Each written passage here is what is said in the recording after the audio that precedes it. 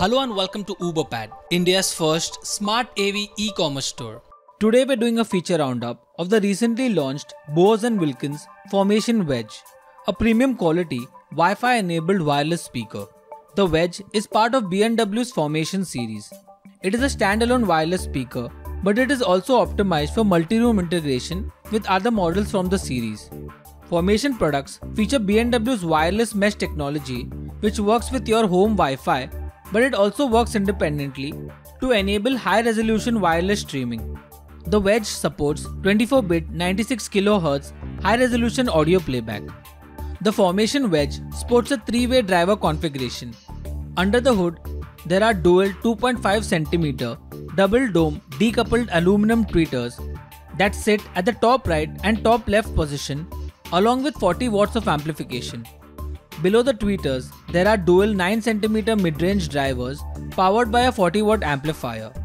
In the center, there's a 15cm subwoofer that is driven by a 80 watt amplifier. Together, this 5 driver configuration delivers a total power output of 240 watts.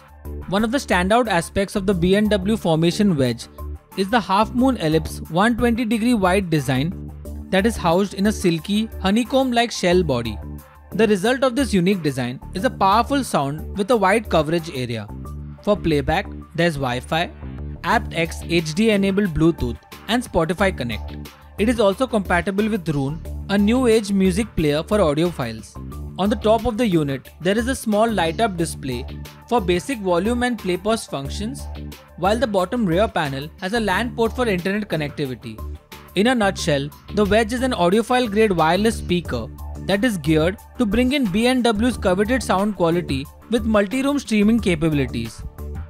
For more information on this product, please get in touch with Ooberpad support.